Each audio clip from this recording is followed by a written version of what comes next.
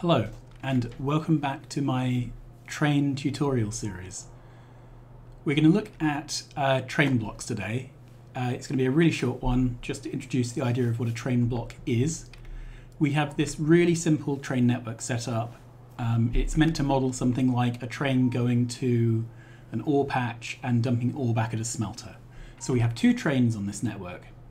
They're shuttling backwards and forwards between two train stops if we go into the map, you can see the train stops are named Phobos and Deimos. We can toggle the train stop names on and off in the map view using this widget here. I like to have them switched on. And in the uh, game settings, in the UI settings, you can set up uh, how big those labels are and what angle they're at and things like that. It's all relatively configurable. So we're going to start these trains going.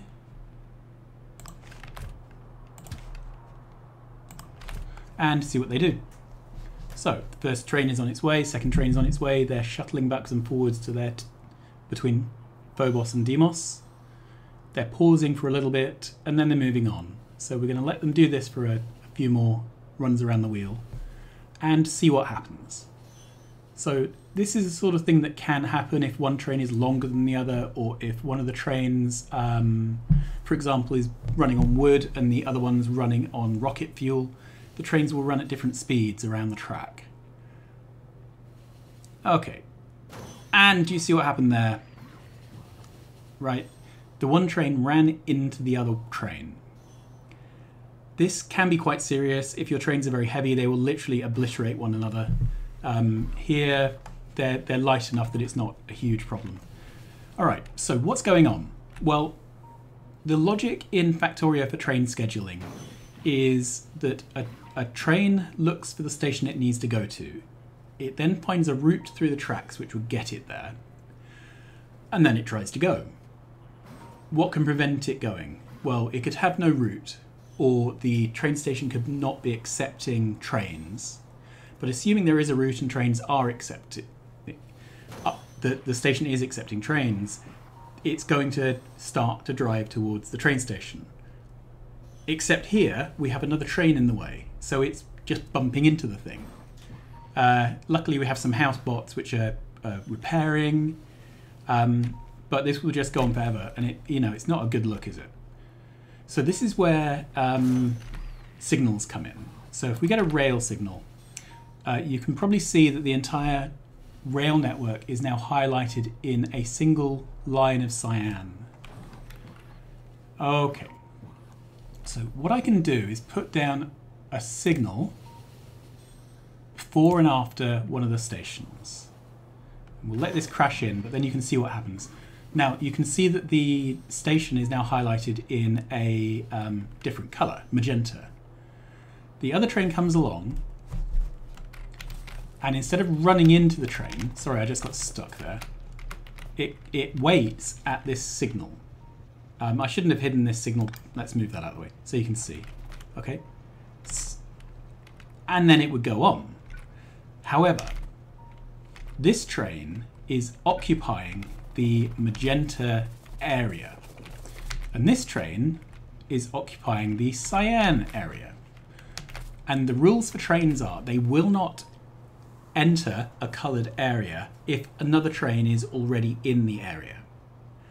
So let's get the wording correct here. It's about whether the train will enter the area.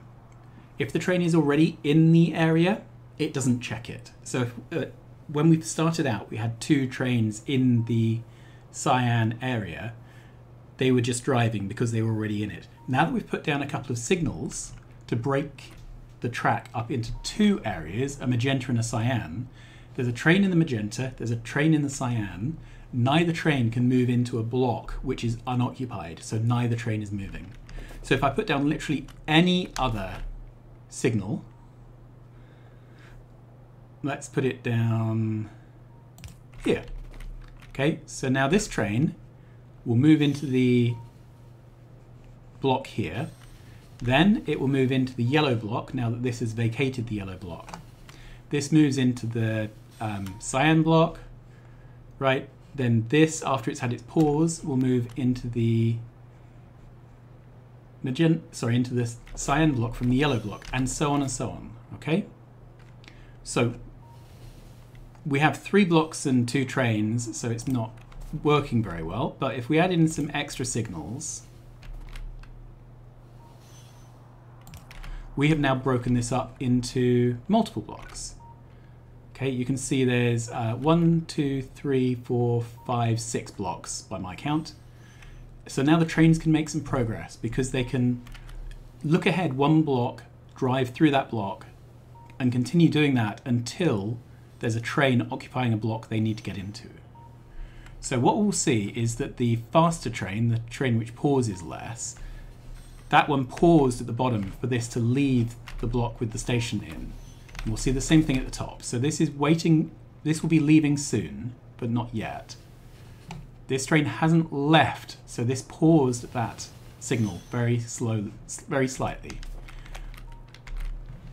Okay, so these trains are set up to be four units long. So they're one uh, engine and three cargo wagons.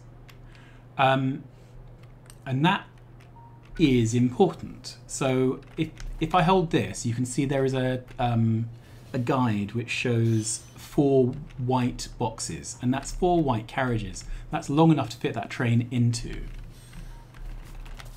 Similarly, this area here is longer than four wagons. It's six.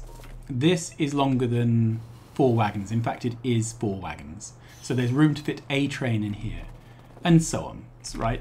So it's quite important when you're breaking up your track into blocks that the blocks are longer than the trains you're going to have in there, so that a train can entirely fit within an area marked out by a, a signal.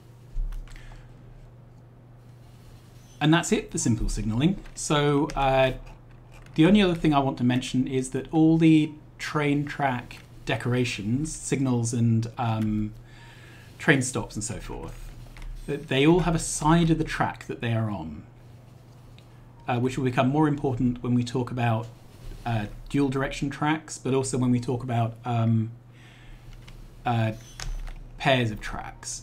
So the um, decorations are always to the right in the direction of travel, and that's the only way I can ever remember it. I have the mouse that I play Factorio with on the right, and uh, that's how I remember that wherever I put these things, it's going to be on the right hand side if you are sat in the um, forward direction of travel. Uh, and that's it.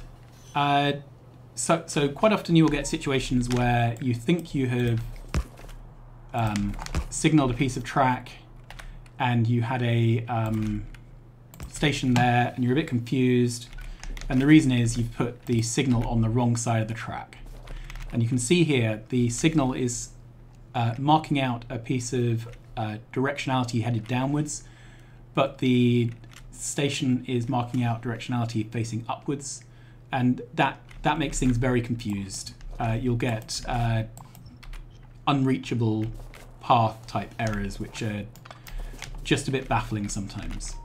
But you can see how we've broken up this uh, train track, which was causing crashes, into one where the trains move, purely by breaking up the track into multiple segments.